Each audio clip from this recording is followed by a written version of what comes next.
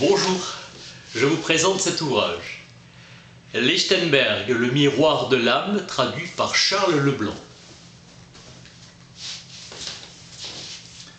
Le devoir de l'homme de science et de culture est de faire reculer les causes intelligibles autant que possible.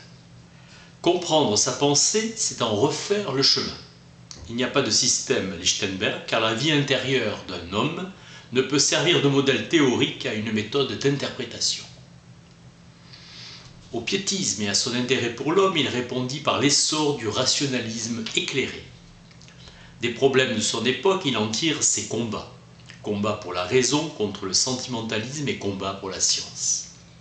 Il n'était pas un piétiste.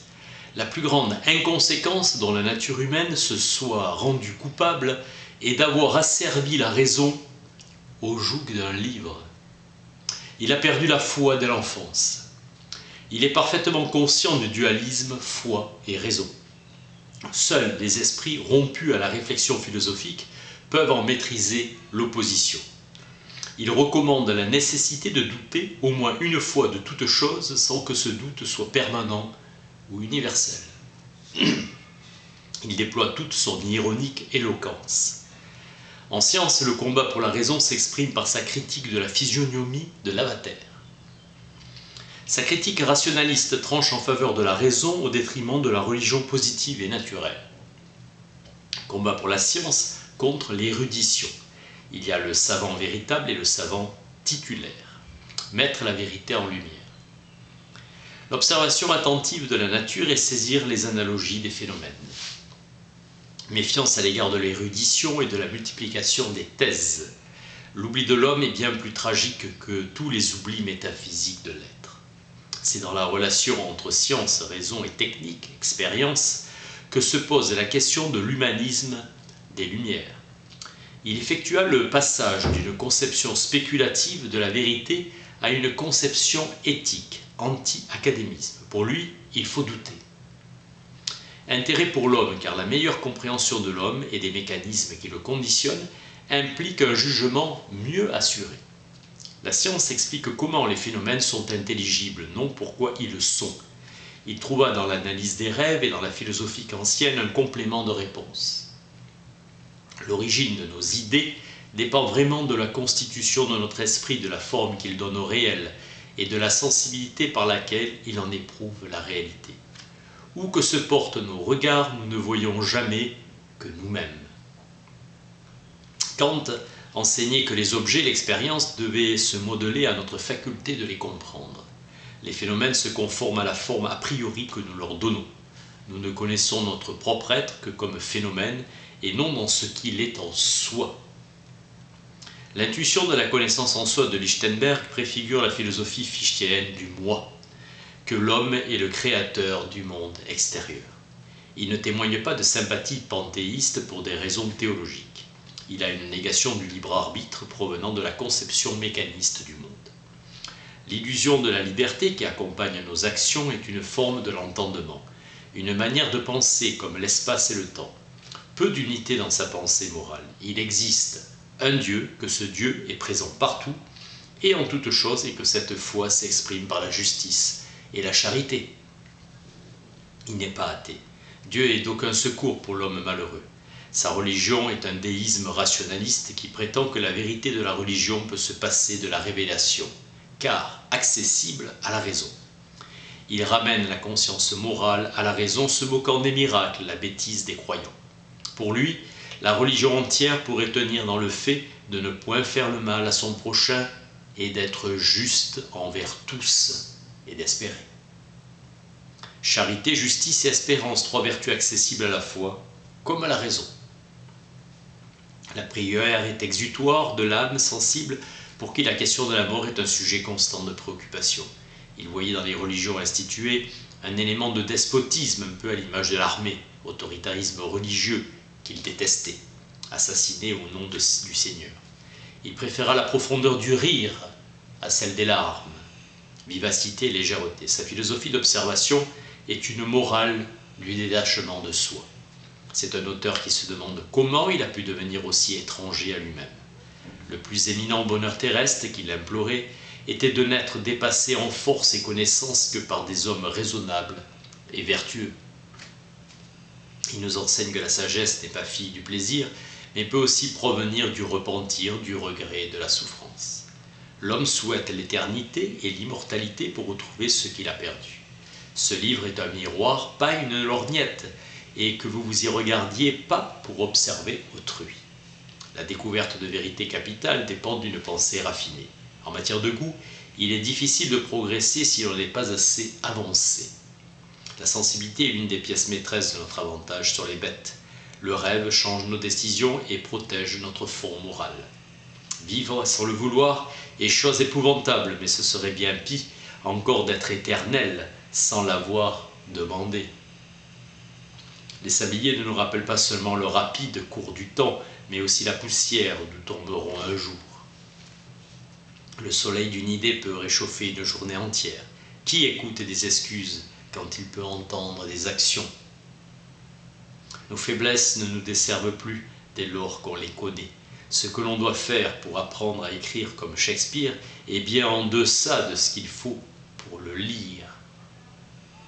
L'attraction à la manière, à la matière inanimée, ce que l'amour est à la matière vivante. La seule logique véritablement bonne sert à ceux qui peuvent s'en servir et s'en passer, dit Alabert, en Lambert, qui peuvent s'en passer, dit D'Alembert. D'une pensée, le philosophe se place au-dessus du monde et le grand homme, lui, le remplit. David Garrick, 1717-1779, fut un grand comédien qui introduisit le réalisme dans l'art dramatique, délaissant le style déclamatoire mis en vogue par Thomas Betterton. Une noble Française dit un jour à M. de Fontenelle Mais n'avez-vous pas envie de vous marier Oui, dit-il quelquefois le matin. Une poignée de soldats vaut toujours mieux qu'une pléthore d'arguments. Si les hommes devenaient soudainement vertueux, plusieurs mourraient de faim. Les Perses appellent un bon livre un divan ou assemblée des sages. Le doute ne doit être rien d'autre que la vigilance, sinon il peut devenir dangereux. Il est mal avisé, dit Voltaire, d'avoir raison là où les puissants ont tort. Un des grands avantages du mariage est celui de présenter à sa femme un invité que l'on peut souffrir. Il n'a que deux personnes au monde qui l'aiment ardemment. Le premier était son plus grand flatteur et le second lui-même. Respice finem, songe à la fin. Comme l'homme vivrait heureux s'il s'occupait aussi peu des affaires d'autrui que des siennes. Il avait avalé quantité de sages préceptes, mais c'était comme s'il fût salé dans le mauvais gosier. On doit refaire le crépi de sa philosophie tous les dix ans. Savoir tourner à son propre avantage l'effet imprévisible de la vie de manière à ce que les gens croient qu'on les a prévus et souhaités qui attire la fortune et fait l'homme du monde. Connaître cette règle et la tenir à l'esprit est déjà une force. Selon La Rochefoucauld, le cardinal de Ré possédait cette qualité à un haut degré. Paul de Gondi, cardinal de Ré, 1613-1679, impliqué dans la fronde, témoignait d'une profonde connaissance de l'âme humaine.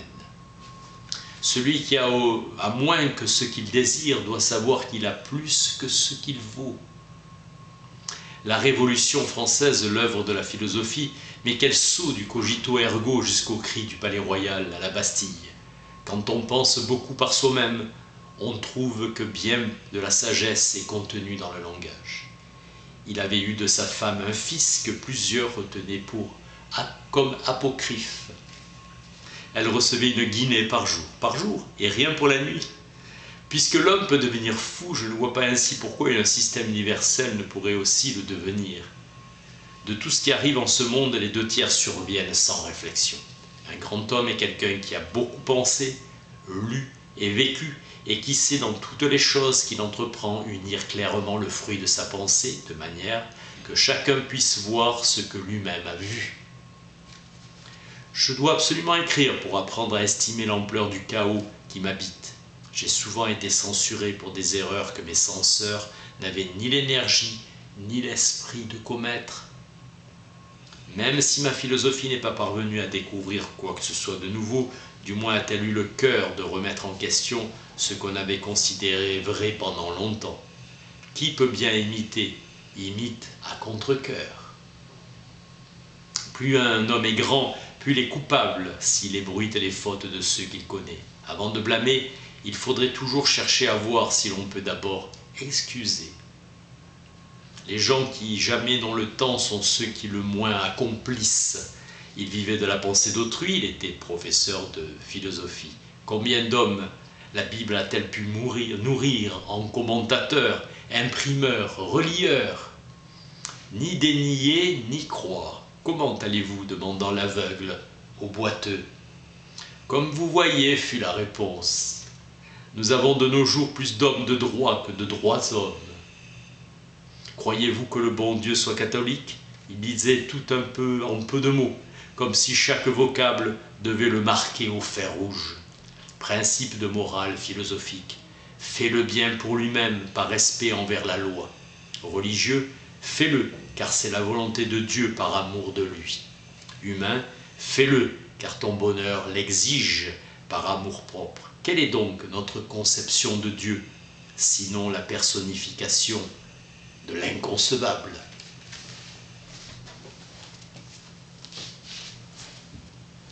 Lichtenberg, le miroir de l'âme, traduit par Charles Leblanc. Merci.